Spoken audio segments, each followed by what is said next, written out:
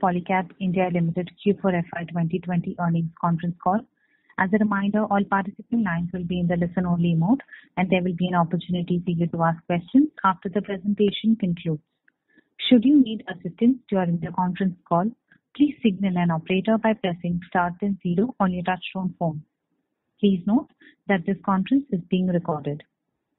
I now hand the conference over to Mr. Gandharv Tongia. Thank you, and over to you, sir. Thank you, operator. Good evening, everyone. Thank you for joining us. Before I start, let me quickly introduce. My name is Gandharv Tongia, and I sincerely hope you and your loved ones are healthy and safe.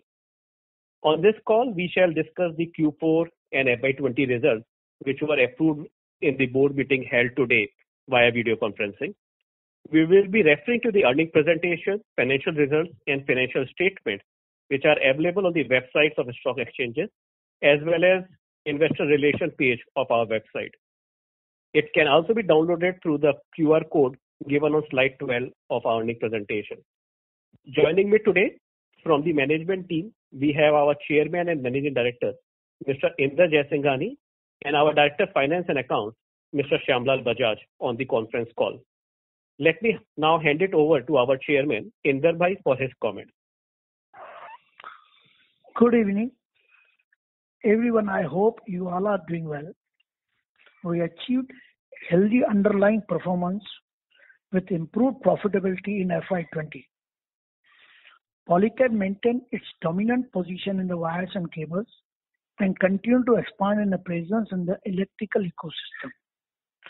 This year was marked with a strong business momentum despite significant headwinds. However, the outbreak of the COVID-19 pandemic and service so economic implications partly tapered growth. We are undertaking all necessary measures to ensure safety and well-being of our employees, partners, and support dealers and distributors, customers, and communities across India. Our financial stability in-house, backward integration, wide distribution channels, and quality human capital position us well to deal with all challenges and succeed. I now request Gandharv to take you through our earning presentations. Gandharv, please go ahead. Thank you very much, Inder Bhai.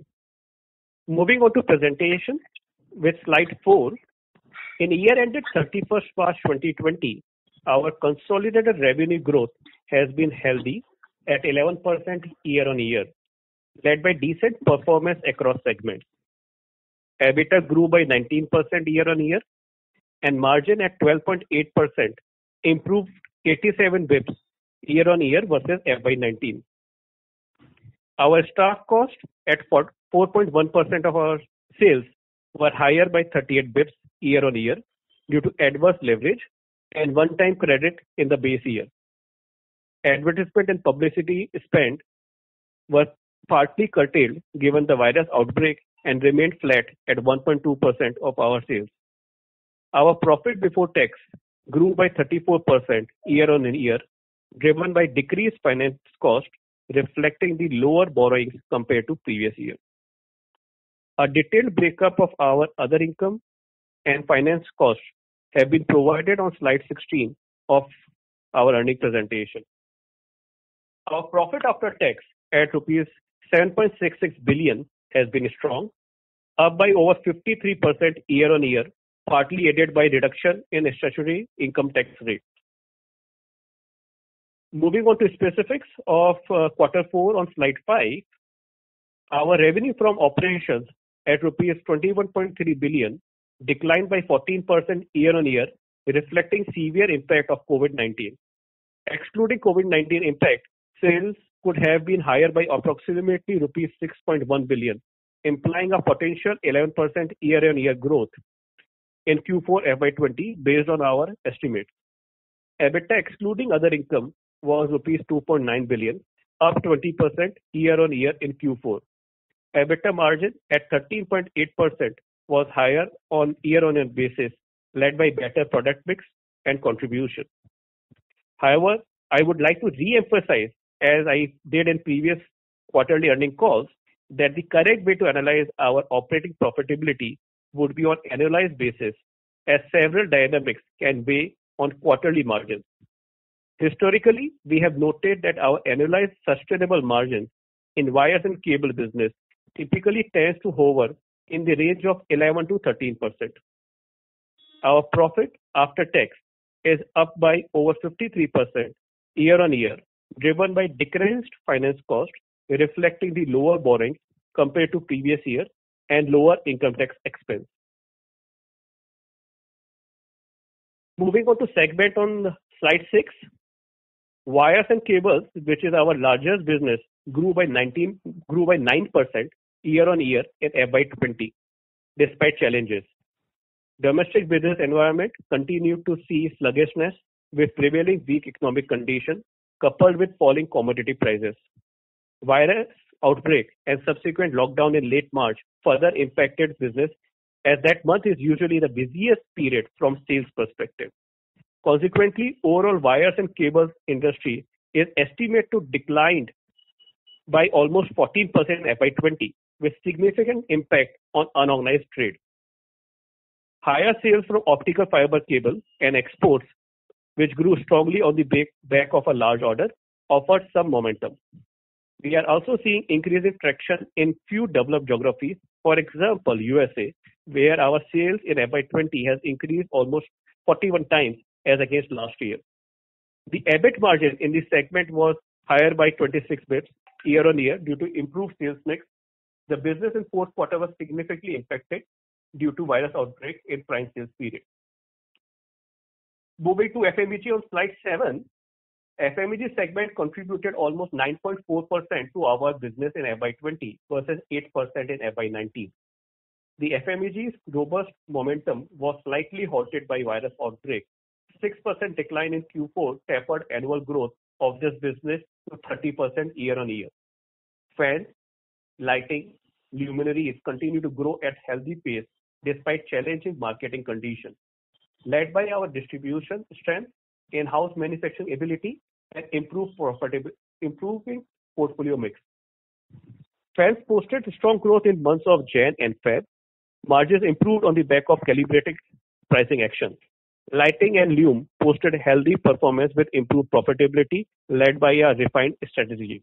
If subsidy, uh, if reducing price erosion in B2C lighting products continue, it could further support margins in this business. Growth in switchgears and switches continued to remain muted. Considering the widespread fear and uncertainty around jobs and income, consumer sentiments have dwindled. While the pent-up demand is expected to bounce back as movement restrictions ease, some downtrading in the near term seems imminent. We believe our strong distribution network, value and quality proposition put us in a sweet spot to gain from such developments. In the coming year, we will continue to build our new product pipeline with focus on technology and energy efficiency. Moving to slide eight, uh, other segments, which is largely our EPC business, which is strategic in nature, nature, witnessed healthy growth in revenue and profitability led by execution of profitable projects. Though we expect margins in this business to remain in high single digit on an annualized basis, which we believe is sustainable. During the year, Polycab, along with its consortium, undertook projects under BharatNet Phase II projects in the state of Gujarat and Bihar and connected almost 4,700 gram panchayats or villages in a period of almost 10 months. Being an established leader in electrical manufacturing domain, we aim to replicate our project management skills and actively pursue large digital infrastructure projects, including smart cities, surveillance, BharatNet, and digital village. Slide nine uh, highlights some of the key initiatives we undertook to help society and communities. I've discussed uh, uh, these. We have embedded a video showcasing various hygiene measures we have undertaken at our factories. I would urge you to watch it if you haven't already. Slide 10 and 11, though these are self-explanatory and provide color on business implication of COVID-19, let me just give you thoughts on how Polycab is traversing through such exceptional times and share our assessment of current situation. As you all are aware, COVID-19 poses a unique challenge and has impacted lives and livelihoods of people. Amidst these defining moments, our priorities have remained the same. Safety of our employees and partners is foremost. Foreseeing the risk, we deployed our business continuity plan in mid-March. All office-based employees transitioned to work from home environment with little to no disruption. And following the government directive on nationwide lockdown, we had completely shut our offices and factories. Currently, all our factories have resumed operation with limited capacity and follow a stringent standard operating protocol. We are continuously monitoring the situation and will ramp up production on need basis. Our local and regional offices, warehouses in non-containment zones are open. We are also in touch with our channel partners to extend support and help them in whatever ways we can. Furthermore, we are generously supporting the community at large as these are the times when they need help the most. Our company is not just contributing to various government industry funds. We are we are directly helping society by donating ventilators to government hospitals, collaborating to set up quarantine facilities, and distributing food packages and essentials to hundreds of families every day around our factory locations and offices. Every Polycab employee donated one day of her salary or his salary to PM CARES Fund. We aim to continue to extend our support even after normalization by coordinating and partnering with various NGOs. On the macro environment, the virus outbreak has caused significant economic disruption with heightened level of uncertainty. Markets were already struggling with tight liquidity conditions, weak credit growth, and slowing industrial production, amongst other waning macros, and the pandemic has further aggravated the stress. Volatile commodity prices was another headwind for our industry during the quarter. Nevertheless, currently, we are surely seeing some signs of progress. Many infrastructure, construction, as well as real estate projects have resumed activities across the country or planning to do so immediately. We started billing in early May and it has been progressing well.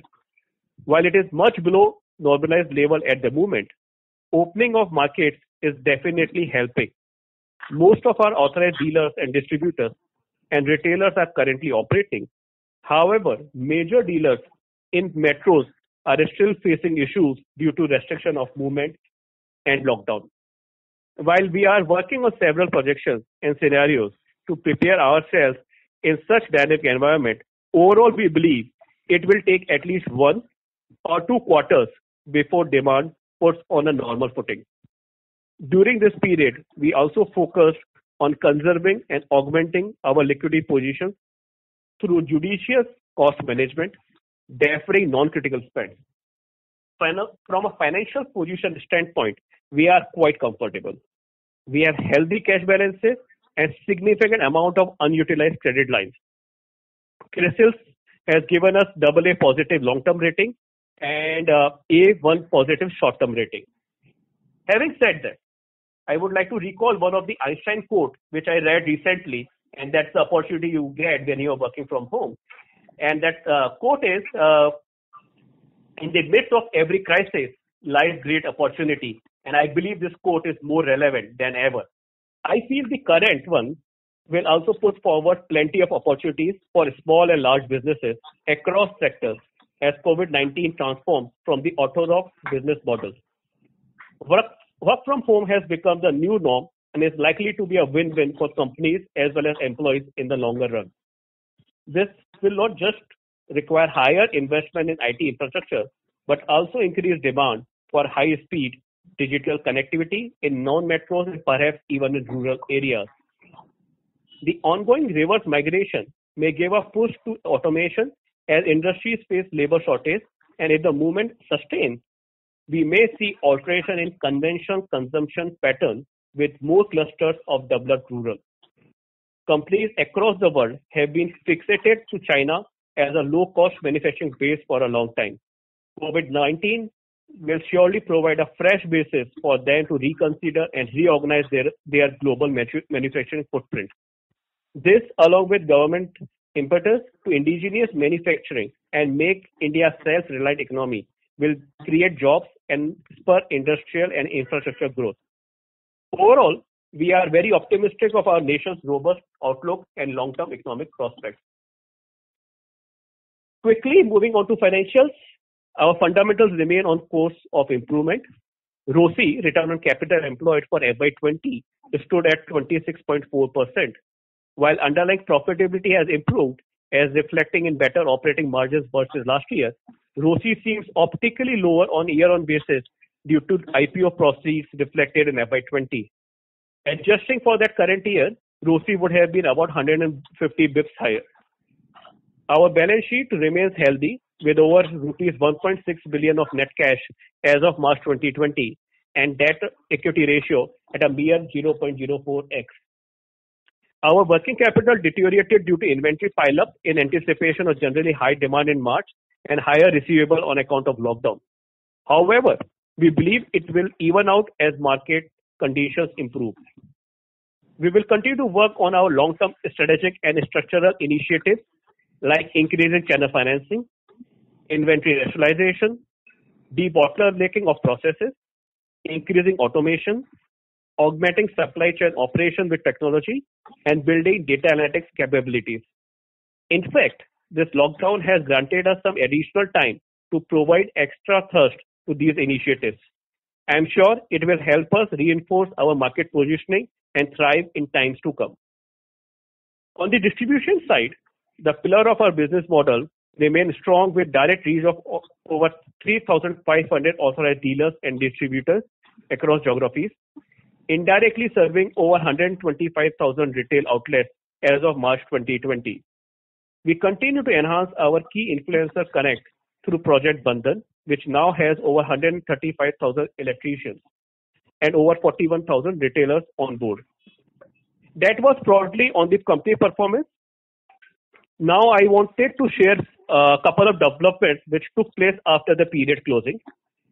First, uh, I'm sure many of you may be aware of this. We bought out uh, Ryker from Trafigura early this month.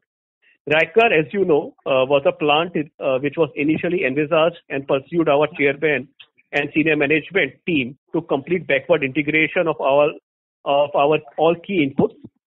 While the plan was shaping up, Trafigura had proposed to partner with us and hence a 50-50 JV was created to build a state-of-the-art facility which conforms to global production standards with minimal environmental impact.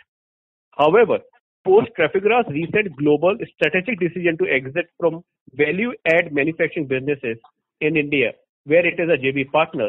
Their 50% stake was offered to us, and we decided to acquire it, making Ryker a wholly owned subsidiary of our company. Apple call करत Australia, Airtel number. आपला call hold, ठेवला आहे कृपया The purchase consideration was around US dollar 4 billion or rupees 30 crores and the transaction has now been closed. Ryker financials will be fully consolidated in PIL from this current quarter. The second development, which is more recent, uh, Mr. Shyamlal Bajaj, who is our Director of Finance and Accounts and Chief Financial Officer, has tendered his resignation from the post of CFO uh, with the closure of the business uh, today onwards, and uh, board has accepted it. Uh, Mr. Bajaj will continue to uh, guide us and mentor us as company's executive director. This transition was in progress from last a year or two, in line with our company's company-wide succession planning process. To conclude, I would like to emphasize that our company, brand, and fundamentals are well positioned to navigate through such extraordinary times. We will continue to operate with a high level of agility and responsiveness. Government stimulus, front loading of various spends, structural reforms, and regulation will certainly help the broader economy and consumer in the near term.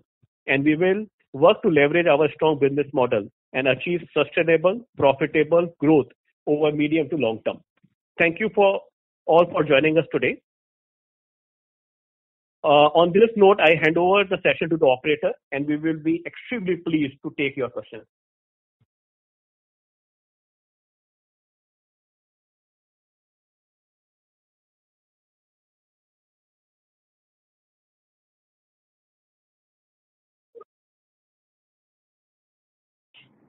Good, good.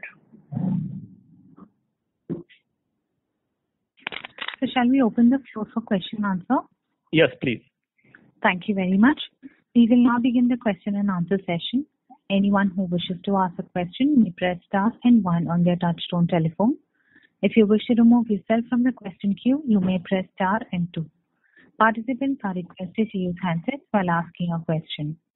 Ladies and gentlemen, we will wait for a moment while the question queue assembles.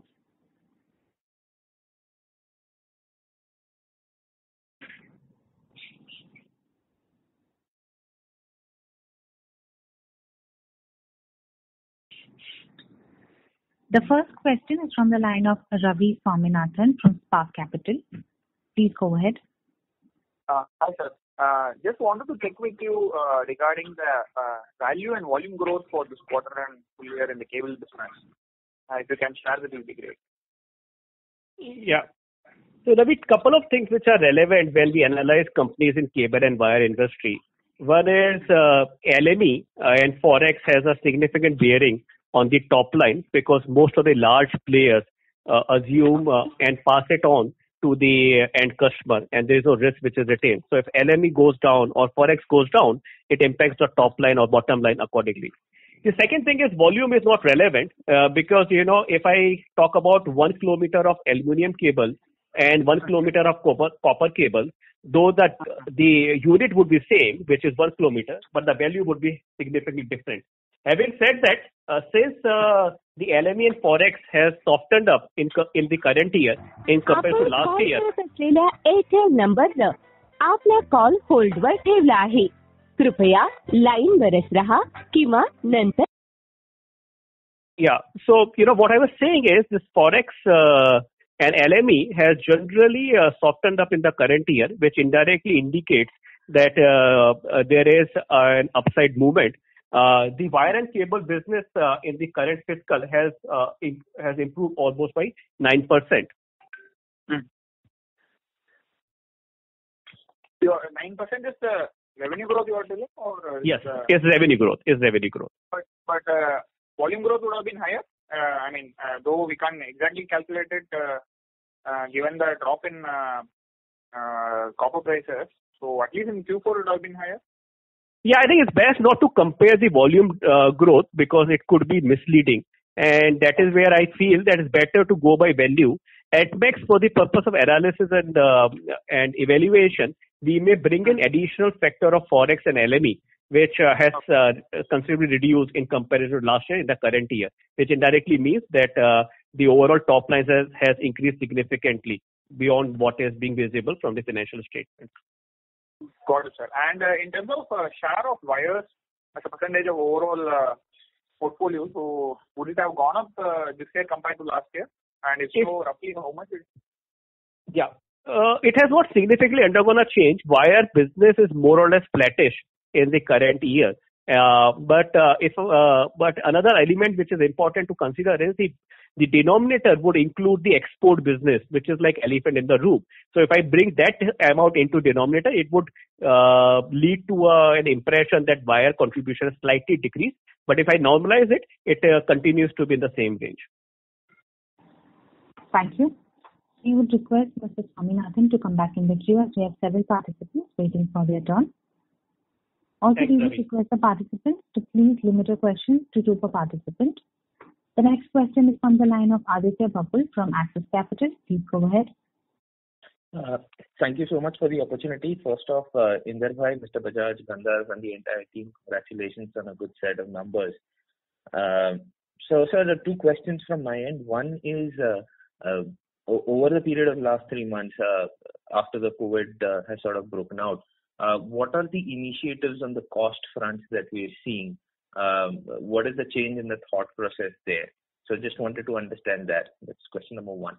Question number two is, uh, can you talk a little bit more in terms of uh, working capital, especially the payables and acceptances? Because as I see in your cash flow statement, that is the the delta between 19 and 20. Thanks, Aditya. You know, COVID has given us an opportunity uh, to revisit almost everything. And we as a company, we are focusing on three or four key elements and we started doing that uh, slightly before pa- pandemic uh, outbreak in India, but we are continuing with that uh, with uh, greater focus. One is cost optimization, and uh, this starts from zero-based costing in a few of our production as well as purchase initiatives. Second is the operational and manufacturing cost, wherein we want to reduce uh, the cost which can be avoided. We have already carried out some evaluation and uh, reduced cost in few of the line items, but uh, we we still believe that further cost optimization is possible. You know, in a large organization over the period, what happens is at times you start incurring some costs which are not necessarily adding value to your business. And that is why this uh, particular crisis has given us an opportunity to revisit, and we will continue to do that and reduce the cost wherever possible. The second is augmentation of cash, though we are supporting our dealers, and that is our prime focus. But at the same time, we are managing our cash to ensure that we have enough cash available. You would have already noticed that our gross cash as of March 20 is uh, close to 280 crore rupees or thereabout. Uh, and you would have also uh, already you Yeah. already know that dividend payout was also done in March. So after that, we are con- continuing with extra cash. So that's there. In few of the cases, we have been able to get some additional credit from our vendors without any additional cost that we have availed, uh, but which is not necessarily significant. And the last thing, uh, which is the fourth part of the initiative, is uh, giving back to community, which is around CSR. So these are the four activities on which we are spending a lot of time, and that remains our focus area. Uh, the second thing was uh, around the working capital. Uh, uh, Yes. There were two items uh, uh, which were always uh, in our focus. Uh, but I think after the IPO, we learned that from all the investors and uh, persons like you. Uh, on inventory, we started our uh, project with one of the management consultants. Uh, the objective was twofold. One is reduce the absolute amount of inventory which we are carrying on our books so that we can reduce the working capital involved. The second is within that reduced amount, increase the number of SKUs. So you increase the availability and you reduce the amount. So you get uh, twin benefits. That project is uh, progressing well. We have already achieved a bit of success, though it is not clearly reflected in March 20 numbers because of COVID and higher level of inventory. But uh, that is progressing well, and we are happy with whatever we have achieved so far, and we will continue to further monitor and optimize it. The second part of working capital is around trade receivables, and as you can see in our presentation, the trade receivables are uh, within the uh, overall acceptable numbers. Having said that, we believe that channel financing, which we introduced almost four, five years, would continue to help, and we would be able to further penetrate channel financing, both uh, in cable and wire, where it is hovering around 60-65% to a higher number, and in FMEG, where it is in early double digit to a greater number.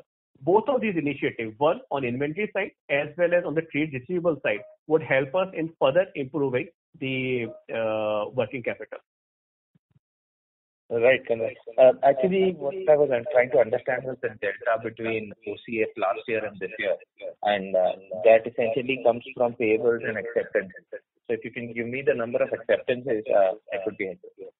So acceptances last year was around 803 crore rupees uh, in FY19, and in the current year is 816 crore rupees. There are two important things we should consider when we are analyzing uh, our uh, uh, acceptances and liabilities.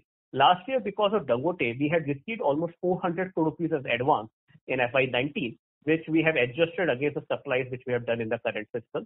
And uh, between FY18 and FY19, there was one-time reclass of the uh, of the uh, financing arrangement which we have with our vendors, which was sitting in our uh, liabilities, which you can normalize when you are preparing your spreadsheet.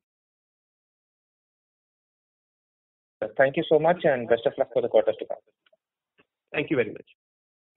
Thank you. The next question is from the line of Atul Tiwari from Citigroup. Please go ahead. Uh, Sir, uh, thanks a lot. And first of all, congratulations on a pretty decent set of numbers. Uh, and congratulations to you, Gandharv, also on appointment as CFO. Um, uh, Sir, my question is on, uh, first is on the export. Uh, So you uh, you you mentioned in the presentation that uh, you booked about 7.5 billion rupees of exports in FY 20. So two parts. Uh, How much of the Dangote order is left for execution uh, for Uh, uh, so sorry to FY 21? interrupt. Uh, So I think either of you all have kept the phone on speaker. If you all can get it off the speaker, please. Yeah, is it okay now? Yes, sir. Yeah. So, uh, uh, uh, sir, on exports, two parts. Uh, How much of Dangote order is uh, left for execution? Uh, And beyond the Dangote order, uh, you know, what is the outlook on exports? Could you throw some light on some of the initiatives that you're taking uh, to at least reach the similar level of export in FY 21? That is one. And uh, the guidance for CapEx in FY uh, 21. Uh, I saw that uh, the company has done about 2.8 billion rupees of capex in FY20. So, uh, rough breakup of that number, where was it spent, etc.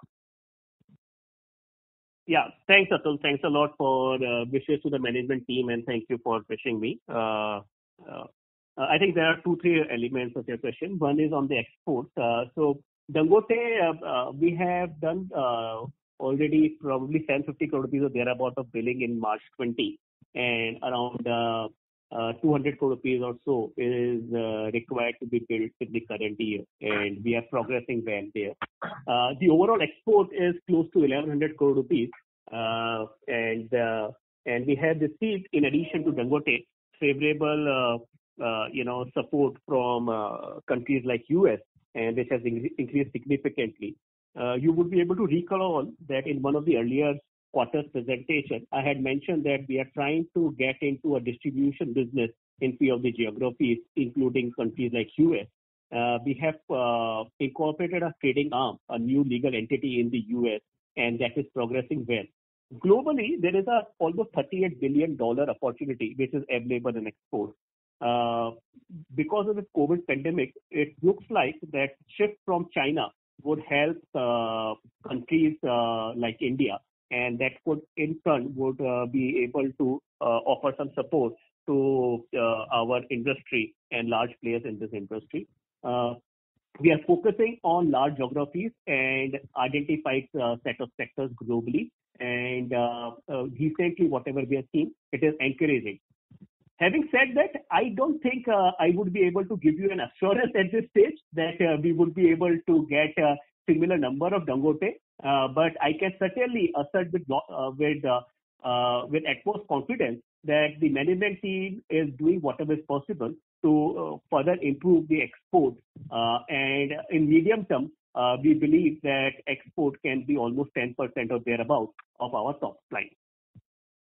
The second element was around capex. Uh, we have invested almost 280 crore rupees. Most of it has uh, been invested in debottlenecking, uh, some investment for export business because the certifications are different and wherein we need to have different set of uh, machineries. Uh, a for FMEG, for example, the facilities which are operating at a higher capacity utilization level, and uh, remaining is uh, for regular upkeep. Uh, I am sure a few of the other participants would be interested in knowing what would be the capex outflow for the next year. Considering the uncertainty which we uh, I think we would be very careful in spending capex. At this stage, you know, we can assume a number of 200 crore rupees or thereabout, but that will be monitored at a uh, at a regular interval and uh, very closely, and we will spend only when we have enough visibility on the business. Thanks, sir. And sir, very quickly, what was the gross debt number on the balance sheet as of FY20 end? Gross debt number. Uh, gross debt number is uh, around uh, 157 crore rupees in FY20 in comparison to FY19, which was around 272 crore rupees. Okay. Thank you. Thanks a lot, and best of Yeah. Thank you. Thank you. The next question is from the line of Prashant Kuti from Sundaram Mutual Fund. Please go ahead. Uh, Thank you for the opportunity. Uh, Two questions from my end. Firstly, uh, even the EBITDA margin side, you kind of said that the average range we should typically look in margins is anywhere about 11 to 13 percent Uh If you look at it directionally, even in this year, we've been improving our margin profile. Incrementally, if we are, first of all, are we assuming the share of buyers to increase in the year FY 21 And if in that case, what should be the margin outlook?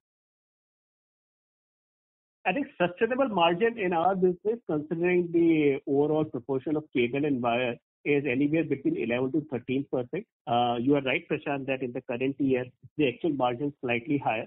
But if I go by the historical trend, it has uh, generally hovered between 11 to 13 percent. And I think for your modeling purposes, it's better to assume those numbers because in such a situation, you will be left with positive surprises, hopefully. Okay. Okay. Um, but in that case, uh, what would have actually aided the margins in this year? If uh, you could probably highlight that because you've seen a significant increase in our gross margin numbers.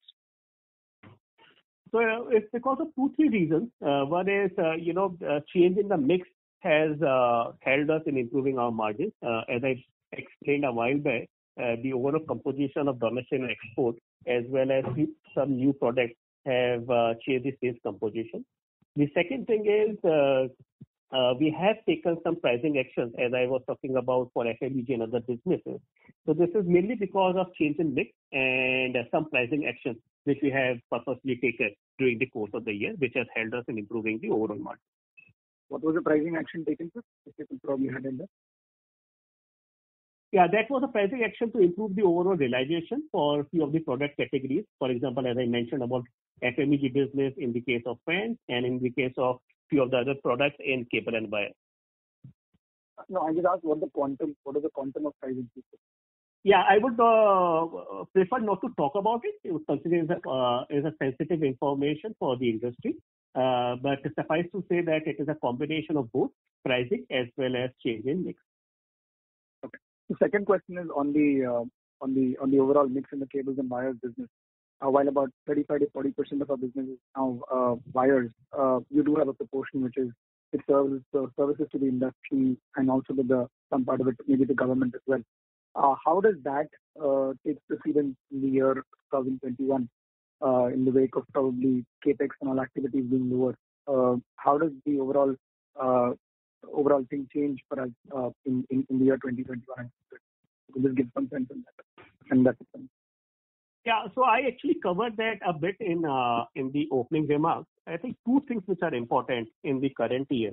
One is uh, uh, what would be spent by the government and private capex in the current year, uh, and which uh, is dependent on several factors, including the most important factor is uh, whether there is a cure for this particular pandemic. If we get a cure for pandemic today, as well as government starts spending today, the growth would be phenomenal.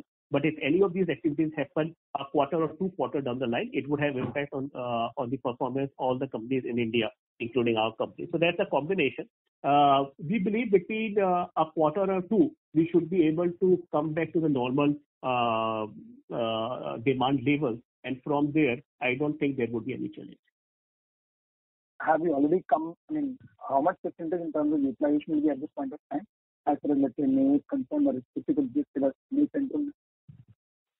yeah. So in the first 40 days, there was hardly any activity, though we uh, resumed our operations slowly and gradually after the year end. But because of lockdown and uh, consider the fact that almost all the markets were closed, there was hardly any other uh, significant activity. After that, we have seen a decent traction, particularly in B2C business and demand from uh, uh, rural or tier two or tier three towns. Thank you so much.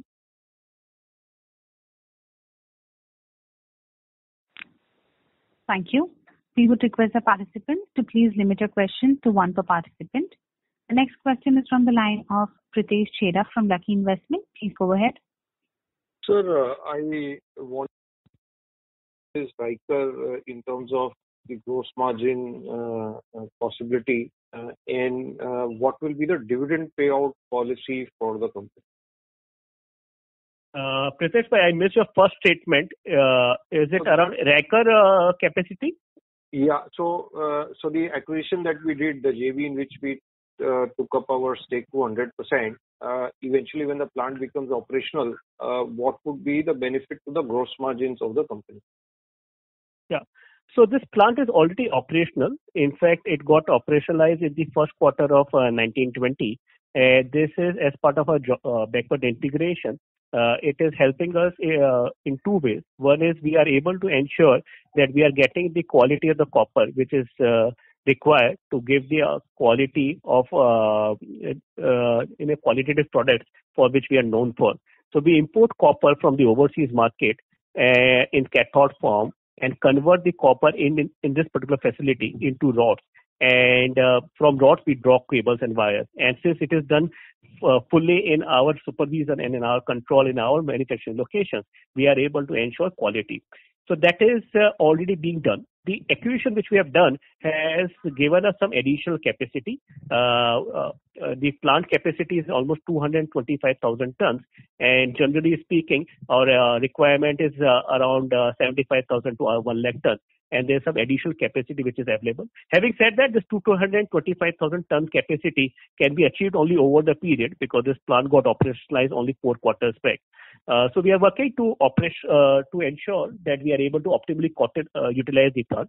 The second thing is the arrangement between Ryker and Polycab would be on uh, job work basis, and wherein uh, there is no significant impact which is expected on the gross margin of the company. But certainly because of better quality, we would be able to reduce the copper content. It will help us in uh, optimizing the cost of goods sold. The second question I think is on the dividend. Uh, uh, uh, we have a stated dividend policy which considers uh, the internal and external factors. Uh, you would be able to recollect in FY19 we had uh, uh, distributed almost 10% of our profit, and in this year we have already done an interim dividend payout in March, and which is slightly more than the last year. We will continue to pay dividend after considering the cash which is available with us the business performance of the uh, period and the cash which is anticipated to be reserved to be kept with the company for future needs.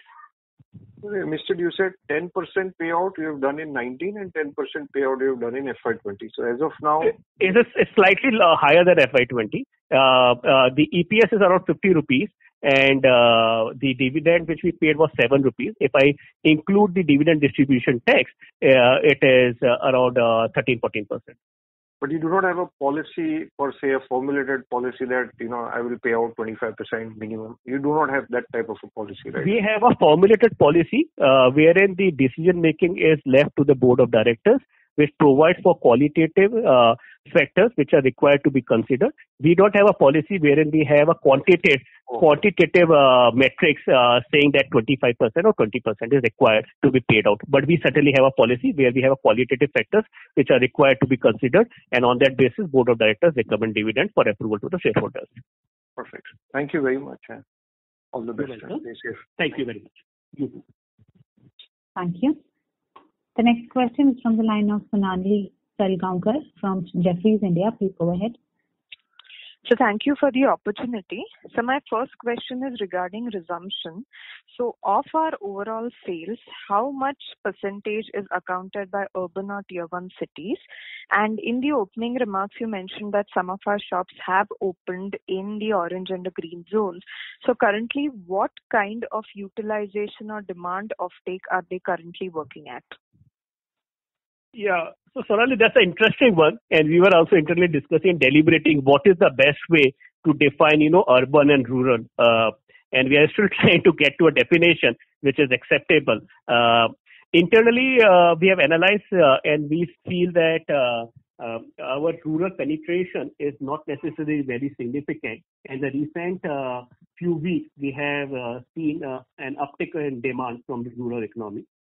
Uh, having said that, uh, uh, most of dealers and distributors in non-containment zones are are operational, but the key cities from where we get our sales are still in lockdown. For example, a city like Bombay or Thane, and that is where uh, though the quantity or the quantum of outlets operational are significant, uh, there is a still challenge in the overall utilization in terms of throughput.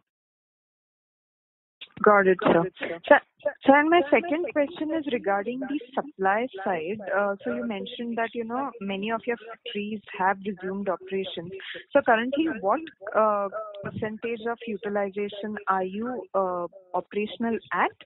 And secondly, what is the kind of inventory uh, that we have in the channels, considering that the first 40 days of the lockdown uh, had almost zero demand? That's it from my side. Yeah.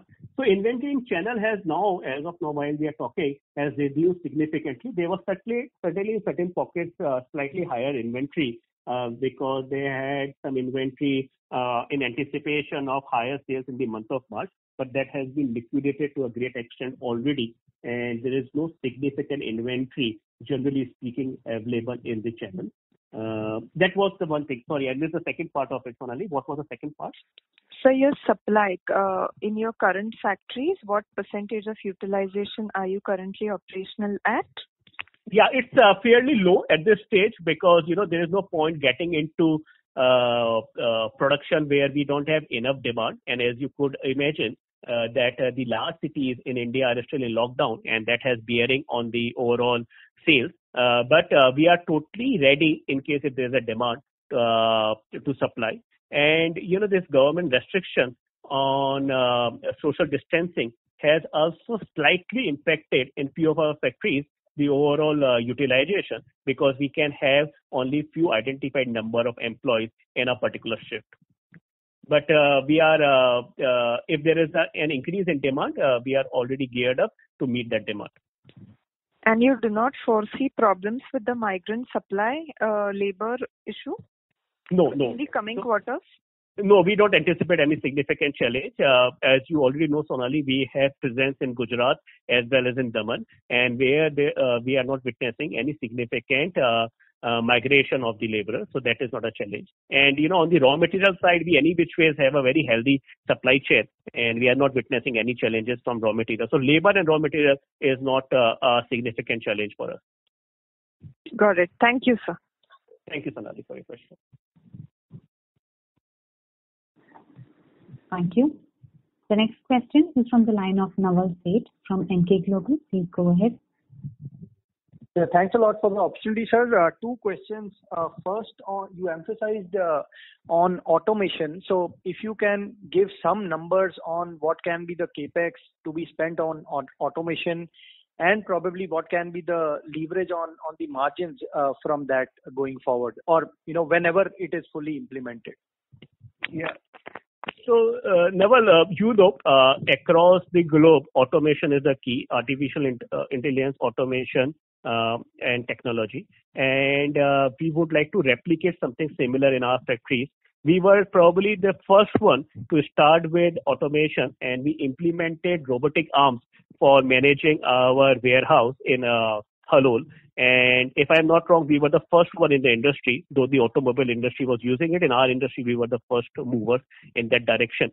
Uh, The automation which I've talked about uh, is being worked on as of now by this management team of the company, and probably in quarters to come, I would be able to give you additional details. Like any other automation, it is going to certainly help us in improving the quality of our products, as well as would help us in reducing the cost and involvement of manual labor. So is it fair to assume large part of cost reduction would be on employees? No, no, no. Okay. Uh, Second question is on, uh, uh you know, channel inventory, what you mentioned that it has, uh, you know, come down significantly.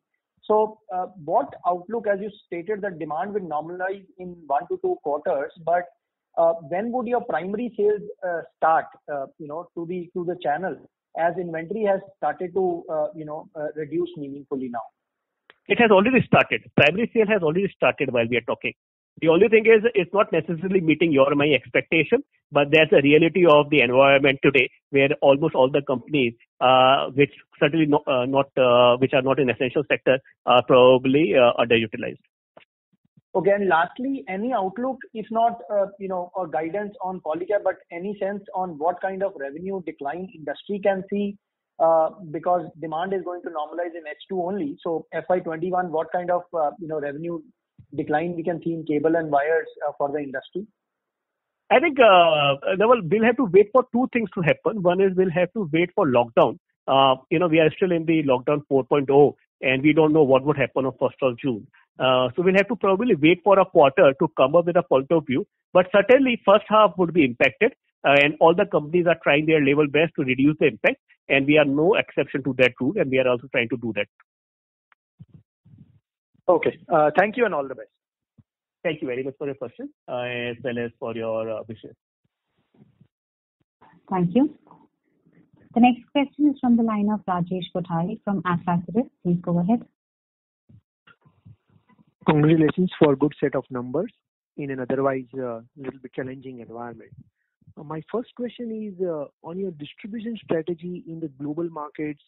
Uh, if you can little bit elaborate on that and, you know, whether therefore you'll be also making the new round of CapEx as and when your distribution strategy comes in force. Um, second question is with reference to, you know, the B2B versus B2C, do you think probably for next few quarters you might see a little bit stronger, you know, B2C versus B2B because there might be, you know, delay in project completion or, you know, some delay in the, you know, handover, uh, you know, from the developers to the actual users, and therefore that may result into the further delay, uh, you know, in the ramp up? Yeah. Thank you. So on the first part of the question on the distribution in the export market, uh, there is no significant amount of CapEx which is anticipated because all these companies which are being uh, Uh, incorporated would continue to act like trading arm and would not require any CapEx.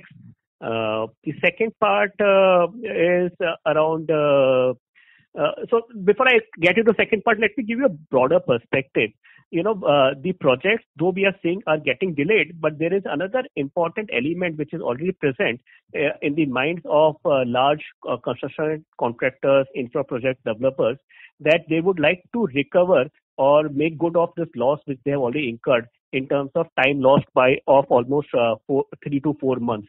And they would like to immediately uh, start the projects, and there will be a bit of a pent-up demand.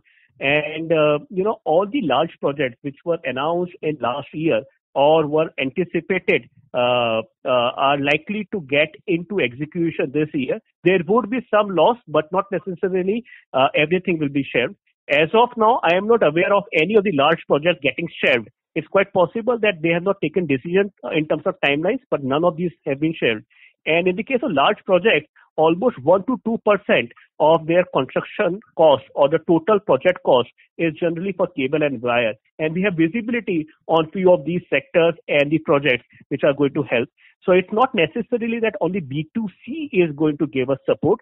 I still believe that B2B, institutional and direct sales would continue to help uh, our company. Having said that, uh, B2C through digital go-to-market strategy as well as in tier two rural would have some uh level of higher level of support and which is what we are trying to leverage. These are challenging as well as developing times, and we feel that will probably slightly change the overall mix of uh, the composition of our sales, but we'll have to probably wait for a quarter or two before we conclude our thoughts on that. Thank you. We would request the participants to please limit your question to one per participant. The next question is from the line of Aadesh Mehta from Motilal Oswal Asset Management. Please go ahead. Um, hello, sir. Hello, am I audible? Yes, sir, you're audible. You can go ahead, please. So, um, uh, Sir, I understand that copper prices would have, uh, you know, corrected uh, significantly this quarter. So, what could be the inventory loss we have booked in our P&L this quarter? Yeah. So that's an interesting one. Uh, you know, uh, globally, when metal is procured, for example, copper or aluminum, it comes with embedded derivative, uh, which provides an opportunity for to the buyer to fix the price at a later date, which is subsequent to the procurement date. And because of which, we don't carry any risk of inventory. So whatever movement in LME has happened has not impacted the company. Generally speaking, from the business model point of view, the uh, the movement in LME as well as Forex is a pass-through, uh, which is generally passed uh, to the end customer on a monthly basis. Right.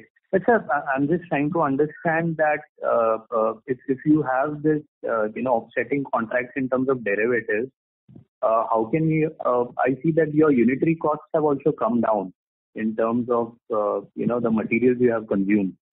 I've seen a significant reduction in your costs as well. So what can I'm just trying to connect these two dots. So if you if you see our quarterly P&L uh, uh, as well as the year P&L, let's talk about the year P&L first. Uh, the cost of goods sold uh, looks like that it has reduced a bit, but you know, uh, an element of subcontracting cost, which used to sit in FY 19 in cost of goods sold, is actually sitting in subcontracting cost now. Because earlier, the Ryker facility was not available with us, and we used to procure copper rods from the end customer or from the end vendor, and that is why the procurement cost was slightly higher.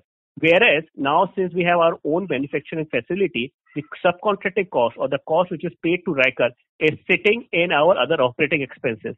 So if you normalize with that, it is not a significant difference between FY 19 and FY 20. Okay. So, so uh, is it a fair way to understand that the gross margin expansion we have seen could be the result of you know reclassification of this? One element is that reclassification. Second is what I explained uh, in uh, in uh, response to an earlier question is because of improvement in sales uh, price realization. We have launched uh, a few new products where we have been able to realize a higher price. And you would have noticed that the sales mix in terms of export and domestic, as well as uh, new products like optical fiber cable, has also changed the overall mix of sales in the current year, and that has also helped us in improving the sales uh, realization, thereby improving the contribution margin. Uh, got it, sir. And sir, uh, what could be the impairment on receivables we have booked for the full year um, this year? So the expected credit loss uh, method, which is required under uh, that has been followed. The carrying provision is around 157 crore rupees, and uh, the P&L debit uh, would be uh, around. Uh, I'll have to check that number. just give me a minute. but the closing balance is around 157 crore rupees of provision and provision during the year would be around, uh, roughly speaking, rounded off around uh, 10, 12 crore rupees. Thank you. Aadesh, we would request you to come back in the queue as we have several participants waiting for their turn. The next question is from the line of Anand Lal from Unifi Capital. Please go ahead. Uh, thank you for the opportunity. My question ties with the previous participant. So, uh, after this change of uh, approach whereby the cost gets shifted to other expenses and hence gross margin looks better. Is it fair to assume that going forward, the gross margin would be in the vicinity of 66%-68%, and it won't cross 70% from here on? No, I think uh, I mentioned that in my opening remark. In our company, the EBITDA margin and co- contribution margin are best to be reviewed and analyzed on annualized basis and that is why I would urge you to analyze on uh, on 12 monthly basis and not take a particular quarter as a base. And uh, just trying to understand, if the business were to resume normalcy uh, post June, let's say for the last three quarters, how do you see the volume of take year on year, assuming normalcy resumes for the last three quarters and the first quarter is washout? Difficult to comment uh, because of too many uncertainties and most of them are beyond the control of the company. It's difficult to give you any quantified number at this stage. Thank you. We would request the participants to please limit your questions to one per participant. The next question is from the line of Viraj Mehta from Equirus PMS. Please, please go ahead. Yeah. Hello, sir. Just one question. Uh, if you look at last uh, two years, uh, we have in our cash flow, it shows that we have written a written off roughly 75 crore of receivables from our channel partners. Post this lockdown, do you see any significant jump in this number going forward, as in a one-time hit that you may face because of this? Yeah. So let me just clarify. Uh, What you're referring to write-off is actually not write-off It's a provision. And that is a provision which is required to be created under Ind on the basis of, by and large, uh, historical trend. And our company, over the period, has been able to improve the penetration of channel financing, but that has been done over the period. So the correct way of looking, uh, looking at it is what is the actual write-off. And if you would notice in the financial statements which are available on the balance sheet, on the website of the company as well as the NSE, the write-off is meager 14 crore rupees. Okay. Okay. But do you see any trend change in that this year? Because a lot of your distributors were locked down for two months, um, and they would face a lot of credit crunch. Do you see any significant deviation from that this year? I don't expect uh, that to happen considering whatever we know. Most of our dealers and distributors are with us since last uh, uh, 30, 40, 50 years. And these are uh, parties with uh, significant good financial track record, and we don't expect any challenge. And the second thing, which is very important, I would like to highlight it at the cost of duplication, that almost 65 to 70 percent of our sales is routed through channel financing, where we have no risk. And these uh, uh, and the same number in FMEG is almost 15 20 percent. And uh, this is important when we are analyzing the health and the quality of the trade receivables. Sure, sir. Uh, thanks a lot, and best of luck. Thank you very much for your question as well as for your wishes. Thank you. The last question is from the line of Chintan Seth from Sameeksha Capital. Please go ahead. Uh, thanks, Gandharv, uh, and congrats for the um, uh, appointment as CFO. Uh, Gandharv, one one thing I'm just looking at the quarterly uh, or other expenses, it has jumped uh, quite a bit from 160 odd crore quarterly run rate to 195 crore. Uh, Any any one-off or any extra spend we have done, and how do we need to look at it? Uh, That's the one first question. Uh, Second is on the export side, um, if you can break it up the wires cable revenue, I think we have booked around 180 190 crore this quarter. If that is correct, then we have seen uh, domestic revenue uh, declining around uh, close to 20%. So um, just just to clarify on that export figure. Yeah. So there is no one-off in the other expenses except one particular element of unrealized foreign exchange gain and loss, and the details are available in the financial statement which have been uploaded on the website. When we are mm-hmm. comparing the uh, top line movement, I think there are two, three elements which are required to be considered. One is what is the movement in uh, average LME and Forex in FY 18-19 vis-a-vis FY 19-20. And there is a mm-hmm. reduction uh, in weighted average between the two. And that is Correct. where, uh, you know, the overall sales number has improved. Uh, that is one. The second thing is, uh, though, though, though exports have supported us in the current year, but uh, there was bit of softening in uh, in few of the markets for cable as well as uh, wire. Uh, if I talk about institutional sales in Western market, uh, it hmm. was slightly soft in the current year because of couple of reasons. One was the base year was significantly better because of few hmm. large projects. And second is there was a bit of softness uh, in uh, West. Having said that, in all the other regions, we have been able to improve our uh, top line growth. Uh, mm-hmm. IEEMA, which is uh, the body uh, for the manufacturing association in this particular industry, has right. computed a degrowth of 14% in the current year. Uh, and okay. the and the assumption is uh, that the organized sector has probably degrown by high single digit, but the unorganized sector has significantly degrown uh, probably in mm-hmm. high double digit. And considering that, the overall performance of the company uh, after excluding export also is positive. Okay. On the other segment, any projects uh, uh, uh the order book is left uh, to be executed in the coming year, or we, will see some moderation because uh, the execution has has been quite strong in FY20. is that in relation to cable and wire or for EPC? In EPC business, yes.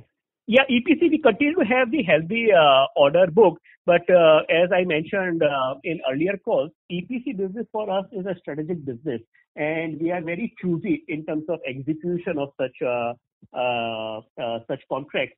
On normalized basis, we expect this to be in the range of around 5 to 6 percent of our top line. Uh, only exception could be optical fiber cable business if we get some profitable, uh, uh, you know, contracts for that. But otherwise, generally speaking, the annualized number should be around 5 to 6 percent of our overall top line. Thank you, Chintan. I would now like to hand the conference over to the management for closing comments. Uh, thank you uh, all for joining us today. Uh, thank you for your time as well as interesting questions and perspective. Um, we sincerely hope that you all remain healthy and safe um, in the coming time. And uh, with that note, uh, uh, we take your leave. Thank you very much. Thank you. On behalf of Polycab India, that concludes this conference. Thank you for joining us, and you may now disconnect your lines. Playback is complete.